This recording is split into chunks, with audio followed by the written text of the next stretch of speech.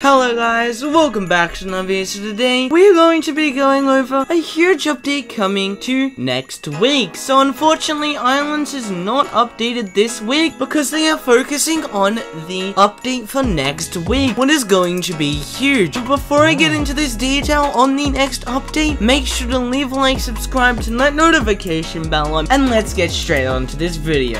Alrighty, so basically we have basically one leak, but not really a leak. It's more what the devs have actually posted in their Discord server, since I'm not really going to be doing leaks anymore on this channel, only if they post it on their Discord server, and the whole public can actually see it like they want it out there. So I'm making this video so we can build hype for this update, so comment hashtag hype in the comments, let's try and get to 100 comments in this video, and maybe 25 likes. But this update is going to be huge. So they have sent this picture. What I'm going to be showing up on screen right now, what is really cool. So I'm going to be going over everything in this image. So let's start off with right in the middle of the picture. So as you can see right in the middle of the picture, these gnomes. So there is one what's on the ground and one in this little carriage. So it's pretty interesting and they have a really big ears. So I don't know if they're just decorations or are we going to have to go around and talk to them or something's going to have to happen. And there are snowballs standing next to one of the tiny golems what look pretty cool like a snowball's gonna come back or something but we'll wait until the update to find out. And there are massive Christmas presents all over the place. So there is like one off to the left, then one next to the little gnome, and then they have two off to the side what is kind of fading out.